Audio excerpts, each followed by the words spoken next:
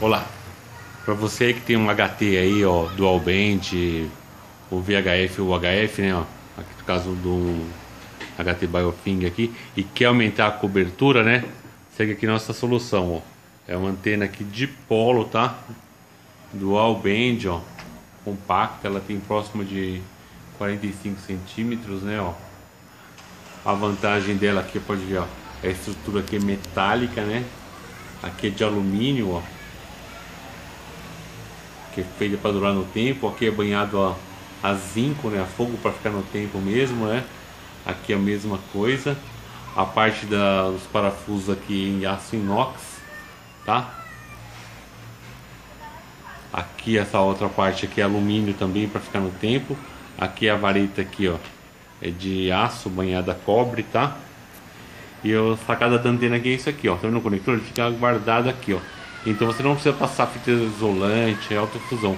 Basta conectar aqui e já está protegido já contra chuvas intempéries, né? Ó. A antena nacional aqui, tá?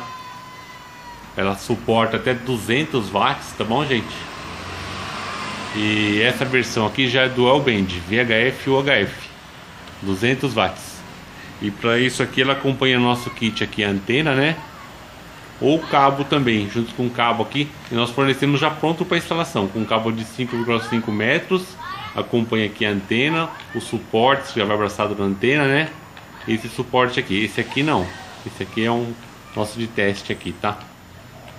E vai um cabo de 5,5 metros com conector do seu HT aí, ou BNC, TNC, SMA.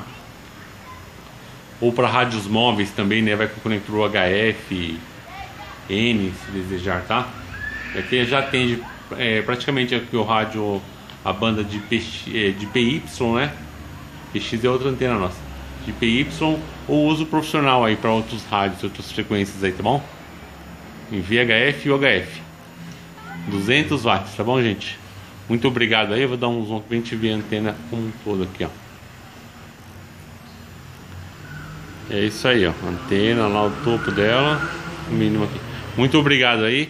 Espero que tenha gostado aí. Qualquer coisa aí, deixe sua pergunta aqui no nosso campo de pergunta aqui embaixo. Inscreva-se no nosso canal, tá? E dê um like aí. Muito obrigado. Dê um abraço a todos aí. Até a próxima aí.